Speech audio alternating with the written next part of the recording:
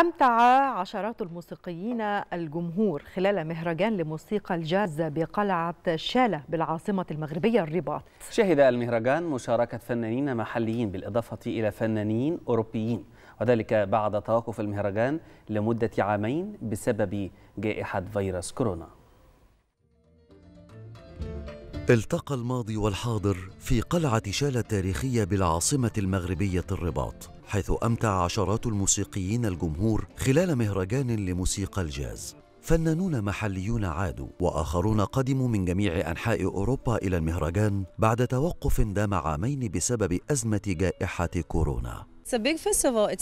إنه مهرجان كبير. إنه مهرجان جاز كبير في المغرب.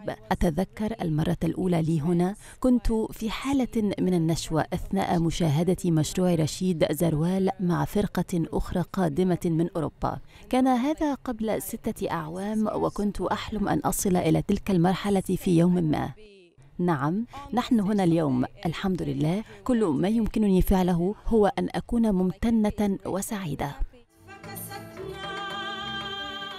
ومنذ أن انطلق مهرجان شالة لموسيقى الجاز عام 1996 كان معنيا بخلط عناصر موسيقى الجاز الأوروبية بالموسيقى المغربية. جاء انطلاق المهرجان الذي ينظمه وفد الاتحاد الأوروبي في المغرب بمساعدة وزارة الثقافة المغربية بعد العطلة الصيفية. هذا العام استثنائي للغاية. إنه العام الخامس والعشرون الذي ينظم فيه المهرجان بعد غياب عامين. لدينا برنامج من شأنه أن يعزز الطابع الفريد والمميز لهذا المهرجان الذي يركز على الاندماج. لدينا موسيقى الجاز الأوروبية وكذلك موسيقى من جميع مناطق المغرب.